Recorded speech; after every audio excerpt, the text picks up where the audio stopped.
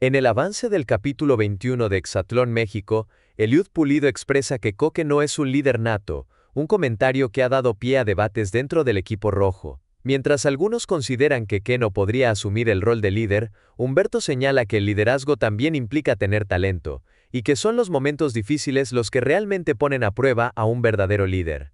Además, en el episodio se disputará la medalla masculina, un recurso crucial en la competencia, especialmente en una semana donde los hombres están en riesgo de eliminación. Cabe mencionar que, hasta el momento, Humberto y Coque son los únicos competidores con medallas, contando con una y dos, respectivamente. Será interesante ver si alguno de ellos logra sumar otra medalla a su colección, o si algún otro competidor emerge como un nuevo contendiente en esta etapa clave de Exatlón México. Por último, tendrá lugar la esperada batalla colosal. Antonio Rosique ha adelantado que en esta ocasión el premio será algo especial, posiblemente una experiencia de relajación, lo cual resultaría crucial para los participantes en medio de la tensión que enfrentan. El equipo azul se encuentra en un momento anímico complicado y necesita urgentemente una victoria que les devuelva la confianza y cohesión necesarias para seguir adelante. En cuanto a los resultados, Aún no hay información confirmada sobre quién ganará la medalla,